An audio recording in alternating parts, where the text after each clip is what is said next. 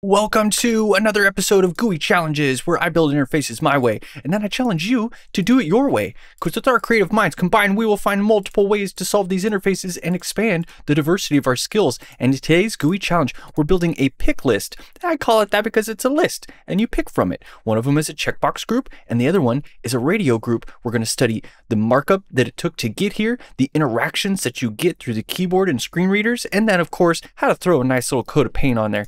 But first, that intro.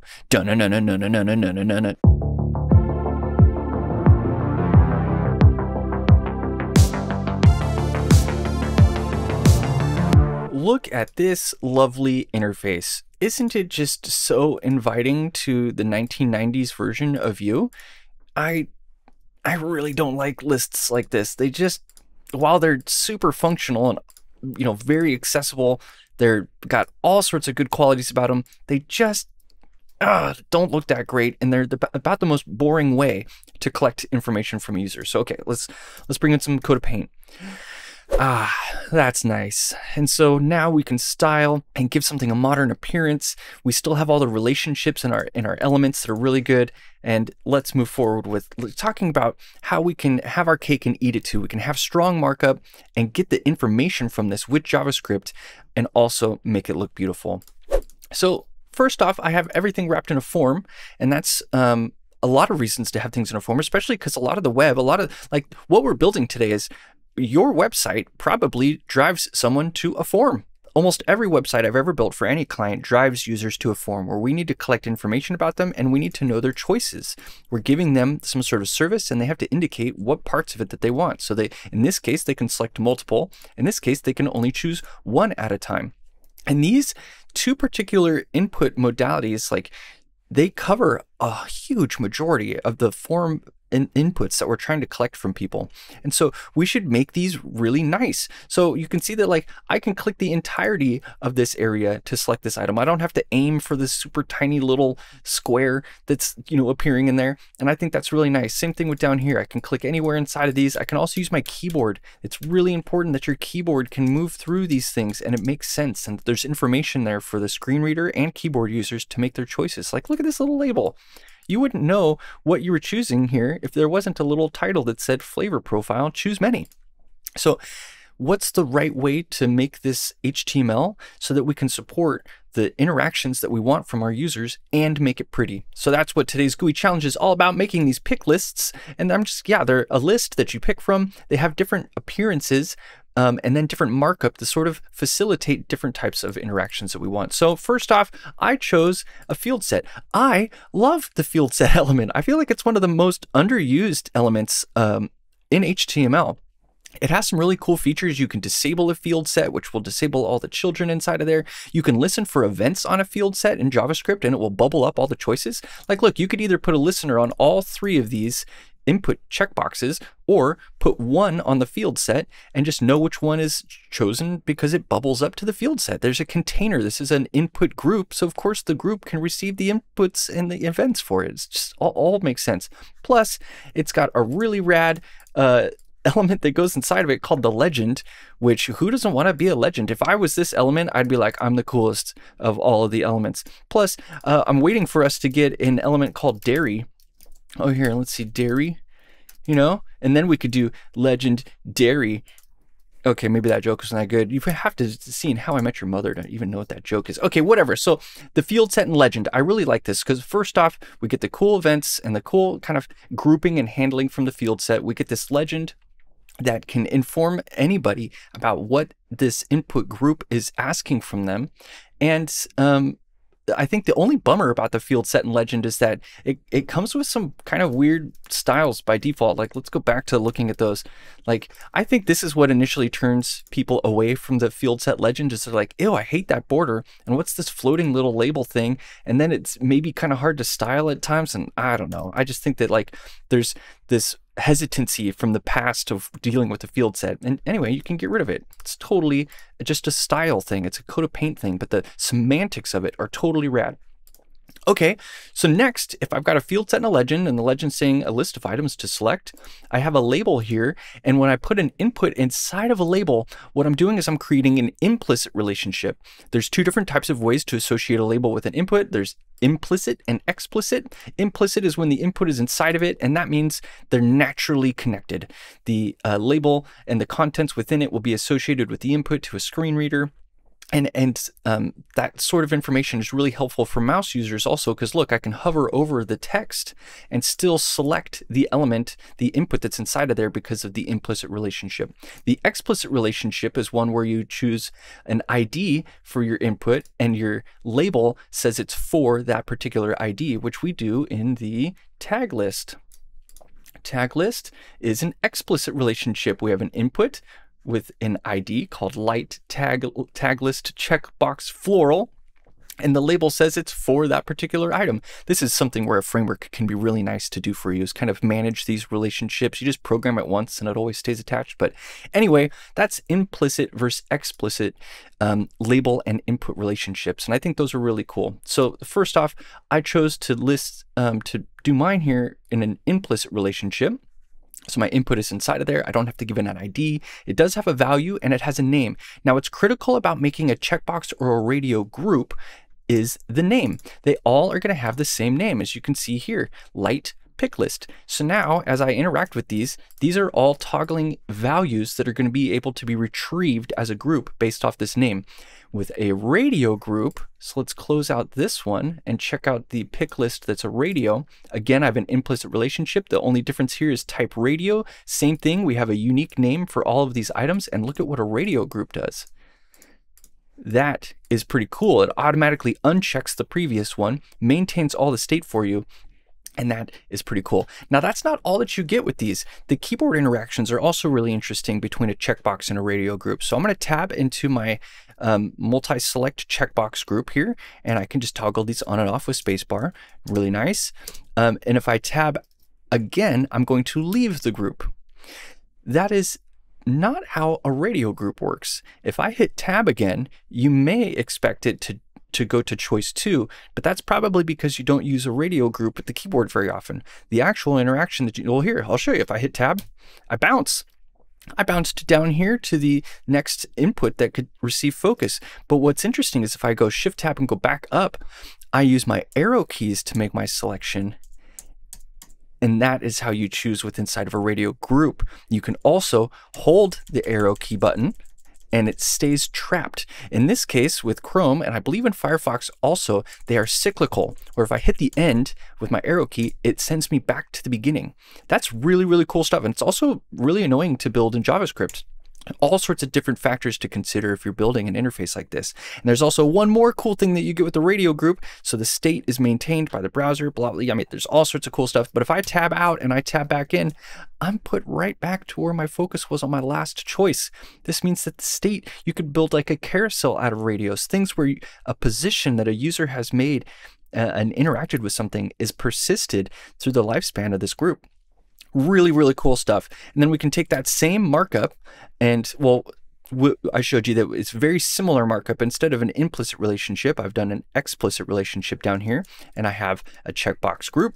I can go through and mark all these items. And then if I go into the radio group, of course, hitting the arrows is going to be how I navigate my way around. And I get that cyclical. I mean, that's just kind of cool. It's like roulette. I wonder if I could like let go and have it go tick, tick, tick, tick, tick, piney, ah. then it's like a Wheel of Fortune uh, chooser. Um, so anyway, let's go back to the markup about this one. So we're looking at a um, label. This is our checkbox. Let's look at our radio group again. So this time I have a div uh, inside of the field set, which is totally a, a great way to separate and divide your items. It's called tag toggle and it has an input and a label. Now, if we look down here, the input and the label, well, I don't even see the input. Do you?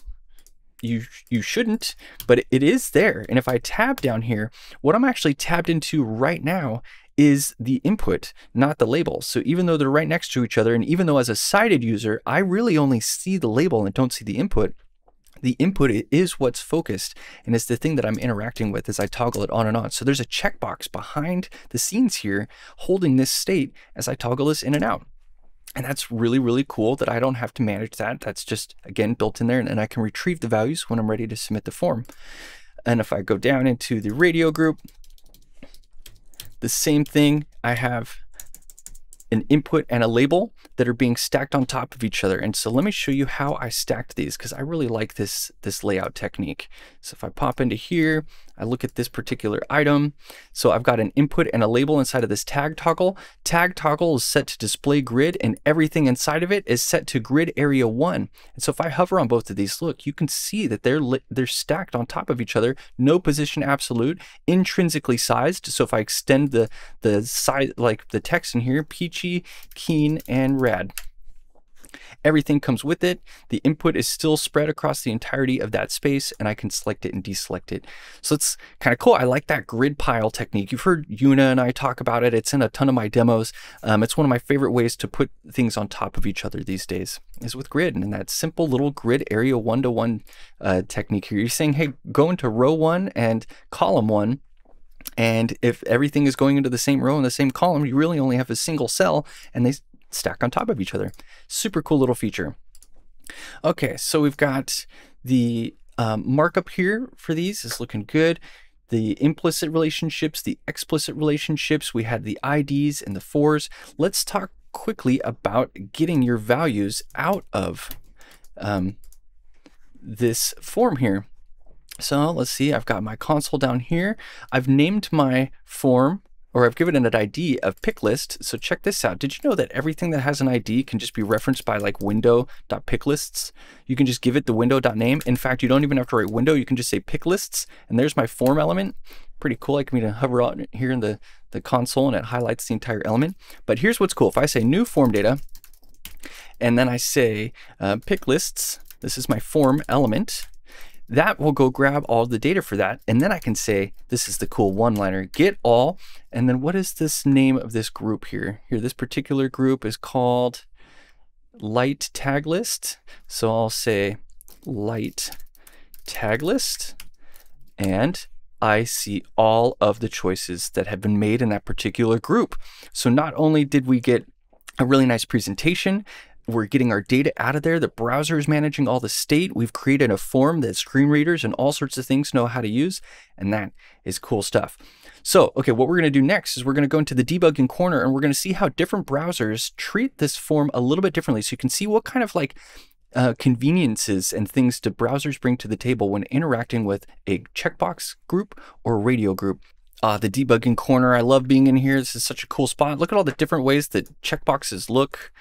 We've got different looks for radios. In fact, one of the things I like is see how that scaled up as it uh, focused in. And then as I hold a spacebar, it squishes down to sort of indicate with focus that this thing is being toggled. It's acknowledging your interaction. I totally got it from video games. and you can come down here and see it in these ones. Let's see, we'll get down into these. Uh, and again, you see it expand. I can hold spacebar, hold spacebar. Super cool. You don't see it with mouse, which is totally fine. It's just a spacebar uh, interaction. But notice over here in Firefox, I don't see that animation. They don't really apply it to the inputs there, but they do inside of these ones. Different browsers doing things differently, all good. And then if I go into the radio list, I can hit the end and go back to the beginning, just like in Chrome. Cool stuff. And on Safari, we get similar but different behaviors. So if I tab into these, you can see that we don't get that scale. We don't get the scale. If I do a radio group, they don't cyclically go back to the beginning. So if I hit my arrow all the way to the left, it's just going to kind of bump its head at the end of the focus group here. And then over here, it just kind of bumps its head at the end. I don't know if that's better or worse, but that's just how they do it. But it is still focus trapped, which is still cool stuff. And if I tab out and tab back in, it will restore that selected state. Then we can see down here, these ones do bounce. And the offset is even like a little more exaggerated for some reason. Like the offset of the outline. Anyway, kind of cool stuff. Boom, boom, boom, making selections, nice and fun. And then down in Chrome, we got uh, those different focus states. We can see the uh, bounce on the different sort of buttons we have here, and then the cyc cyclical roving UX that we get inside of here. And it's nice on Android and stuff where even on iOS where you've got like a really large finger that needs to tap those little checkboxes. It's so much nicer if someone allows you to tap the entire area. So be that developer that instigates that this that they have good hit areas to make your selections because I think that's important. Okay, cool. Let's see what else do we got to cover in here. I think that's about it. Um, the color scheme property is what allows these radios to be dark in this theme and light in this theme, and I think that's kind of cool to see it in there. Um, and that's that's kind of it for this GUI challenge. I think it's mostly about seeing the structure of a radio list um, and a checkbox list, knowing what those interactions are like, being able to see the results of how these things work with a with your keyboard versus a mouse. And in fact, let's go look really quickly at the um, accessibility inspector tools in Chrome DevTools just to see a little bit of what an, a screen reader might see when it's looking at these form elements. All right, I'm gonna hit Command Option I to bring up the Dev Tools. I've enabled the accessibility tree tool here, and you can find that in the uh, settings. Let me twirl this open so we can see what we've got here. And look at this. So imagine, here, let's just squeeze this so much you can't even really see the UI anymore. You should be at least decent enough familiar with it to, to imagine it in your mind, but let's map it back towards the information that we've baked into the markup itself. So in case someone isn't isn't going to use the styles and isn't going to, and you know, of course, there's no JavaScript here. This is just the HTML. What are they uh, hearing and what are they experiencing in terms of the, the content here? So the first one is that group. A list of items to select is going to be what's announced to the screen reader user. The legend is what informed that group. So the group is the field set. The legend um, kind of bubbled up its information to name the group. Then we have our label text, and it's going to be read out to them as checkbox, item one, supporting line, text, lorem, ipsum, dolor, sit, whatever. It's going to read that out, but it's going to say item one, supporting. Notice how it took our text in here and kind of squished it into one big long sentence. There's probably some better ways to inform users about the different types of um, meta information you're providing about that particular label, but labels are a little picky. Labels will take any HTML that you put in, and you're not supposed to put a div or any block level elements inside of a label. So I put spans and B tags to sort of bold the text or to have the text be just kind of free floating and then used display grid to sort of make them look a little bit more like block level elements. But anyway, that's an important thing to know is that inside of a label, you need to be using inline elements exclusively uh, so that you can pass the validator, the HTML validator. We'll go down here to the next one. And the next one, a screen reader, these static text items, a screen reader can navigate across static text. So the user could find themselves on the check checkbox and then move their uh, virtual cursor over to associated text elements and hear those individually. So it's going to be on them to navigate as they want through this thing. Let's close this group. So that was the checkbox group. Here's a list of choices to make. Select one. Notice also it is a radio and it's going to be read out to the user as a radio. But it is nice to tell them in that label to select one. Uh, and that's something that as a sighted user, it's probably really obvious. You can see the radios, you can see the radio unchecking the previous one and checking the previous one. And it's, but it's nice though to, to articulate that to a user through the legend. And notice also that that legend is there, but I've hidden it on these particular elements. So let's focus on this one again really quick. Let's go back to our regular view. And here we have a legend. It's in the DOM, but as a, as a sighted user and a keyboard user, I don't have access to it. And that's because I've given it height and width zero and overflow clip. So it's visually hidden, but it's still present in the experience of the, the document here, which is kind of cool.